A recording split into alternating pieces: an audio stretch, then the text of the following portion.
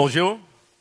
What up, France and the rest of the world who's here? I want to give a shout out to my brother Brandon, who's here from Jackson, Mississippi. Make sure you stay here after this talk and hear about the important work that they're doing. They're our comrades. Uh, so I'm from Detroit, and Detroit is often in the news, usually for bad things like the bankruptcy that's happening and uh, the crime in Detroit and the, the economy, which is in crisis. And all those things are true but there's also some very good things that are happening. So, in about 15 minutes or so, I want to share with you some of the bright lights that are happening in the city of Detroit. I first, though, want to start whenever I have the chance to talk before public, before the public. I always give uh, praise to the Creator, and I'm not trying to impose my spiritual views on you, but for me, that's very important. And also, I have to honor my ancestors, those Africans who were stolen from West Africa and brought to the Western Hemisphere and who created the wealth upon which the Western world is built. So, having said that, um, I want to tell you a little about the city that I'm from, Detroit. Uh, Detroit is a city of 139 square miles, which has a population of about 713,000 people, according to the 2010 census. And that's down from the height when in, in 1950 it had a population of about 1.9 million people. And so Detroit has approximately a little less than, a little, a little more than one third of the population that it had in 1950. But the geographic footprint of the city has not shrunk, it's the same size. And so the city leaders have the unenviable task of maintaining a city infrastructure with almost a third of the tax base that it had several decades ago. And so that is part of the cause for the crisis that we see in Detroit. You can't understand what's happening in Detroit unless you understand the social construct that we call race. And so in Detroit, the population is currently about 83% African American.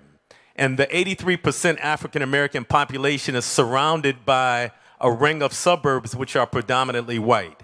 It's surrounded by a ring of suburbs because in the late 1950s, 1960s and 1970s, huge numbers of the white population left Detroit and moved into the subdivisions that were developing around the cities as a result and aided by the federal highway system that aided these suburban subdivisions to develop. And so Detroit's majority population is largely impoverished. About 40% of the population lives below the federal poverty line and the rest of the population maybe could be considered primarily lower middle class. So we hear a lot in the news about, we hear terms like Detroit being reborn or Detroit rising from the ashes. And I just want to tell you that the reality is that for the majority of the people in Detroit, that we are still struggling just to survive. So for a certain segment of the population, there is a rebirth happening. But the segment of the population for which this rebirth is happening is predominantly white, and they're predominantly people who have recently moved into the city, into areas that are being gentrified. And in those areas, we see huge amounts of capital being poured in.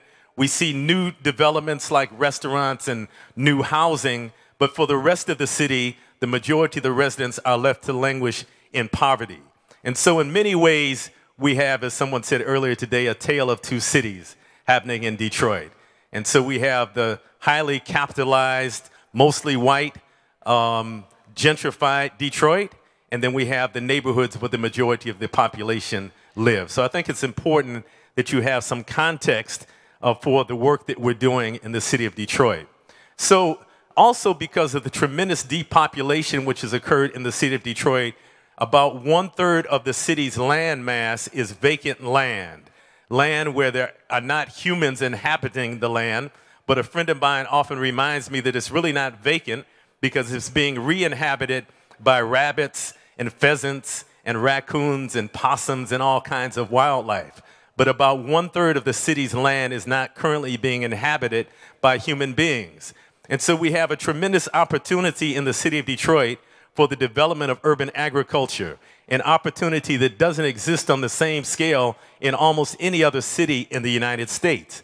And so, in many ways, Detroit has become the urban agricultural capital of the United States. There's approximately 1,500 gardens, including backyard gardens, side lot gardens, school gardens, um, community gardens, and small farms that are officially registered with a network which is called the Detroit um, the Detroit Garden Network. The, I'm sorry, the Garden Resource Program. And there are many other gardens that are off the radar, people who don't want to be um, recognized at all by any official authorities. And so there's a tremendous number of gardens happening in the city of Detroit. I want to give you a little of the history about uh, those gardens in the city of Detroit. And we have to, of course, start by recognizing that Detroit was inhabited by indigenous people, or Michigan was inhabited by indigenous people before the French came and colonized uh, what we now know as Detroit. In fact, Detroit is a French word. Um, and these are some of the, the nations of indigenous people who inhabited what is now called the state of Michigan. And we have to recognize that they had indigenous food systems. When the French moved in and started the actual city of Detroit along the Detroit River, they had what was called ribbon farms, these long, narrow farms that started at the Detroit River and ran about two miles towards the north. In the late 1890s, Detroit's Mayor Hazen Pingree, uh, in an effort to stave off starvation in a time of economic depression, encouraged wealthy landowners to share their land with landless people in order to grow food. And so many people say that was the start of the urban agricultural movement in the United States. He is sometimes nicknamed Hazen Potato Patch Pingree.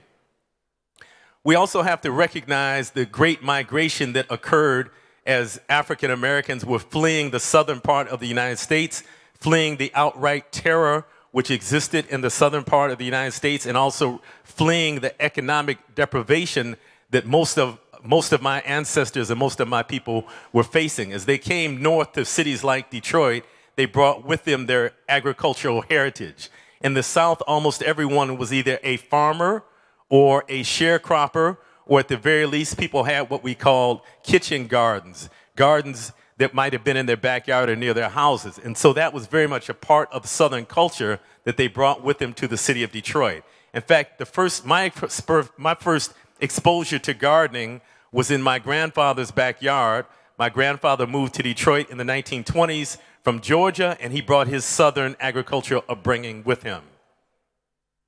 In more recent history, in the 1970s, Detroit's first African American mayor, Coleman Alexander Young, created a program called the Farm a Lot Program, where he encouraged Detroiters to grow gardens on the many vacant lots in the city of Detroit. Even more recently, in the 1990s, we had a group of elders from the southern part of the United States who lived on the east side of Detroit who created an organization called the Gardening Angels, where they encouraged young people to learn gardening skills and they helped to propagate a number of gardens in the city of Detroit. We also had a program called Detroit Summer, headed by the great Grace Lee Boggs, which is pictured, who's pictured in the picture at the bottom. And they also encouraged young people to develop gardening, and that contributed to the contemporary urban agricultural movement. In the time I have left, I want to talk to you about the organization that I lead, the Detroit Black Community Food Security Network.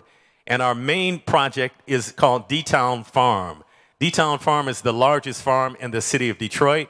We grow more than 30 different uh, fruits, vegetables, and herbs at that farm. We're training new farmers, new cohorts of farmers each year. We do a tremendous amount of agritourism, exposing people to the great potential of urban agriculture. Uh, we have a very unique program where we encourage people to volunteer, and that's our farm manager actually uh, in the lower, um, the lower picture, and he's holding in his hand what we call D-Town dollars, a currency that we have created that we exchange with people for their volunteer labor, and they're able to use that currency to purchase the produce that we grow. And instead of, instead of having the picture of the first American president, the slave owning George Washington, right in the center has a picture of collard greens. And it says on it, community self determination. And so we're very proud of these D Town dollars. We sell our produce at farmers markets in the city of Detroit and that's one of our uh, founding members, Mama Janet Severs, you see in the, in the upper corner, uh, selling at a farmer's market. Uh, this year we're using uh, some techniques to try to reduce the labor, including weed barrier. And this is uh, a couple of months ago as we were rolling out the weed barrier so that we can reduce the amount of labor that we put into weeding at our farm.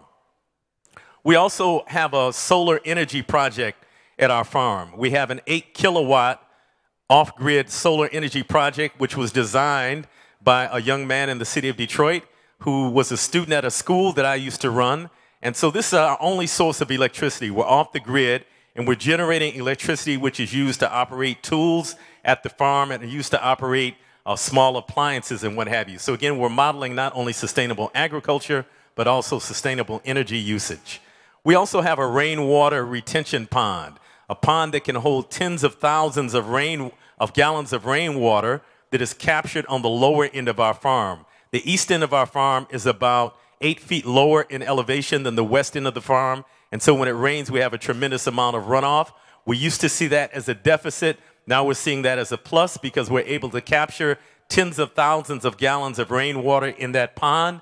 And then we have a pump which is powered by a solar panel, which pumps it into two 2,400 gallon cisterns that we're able to store the water in and use it to water our crops.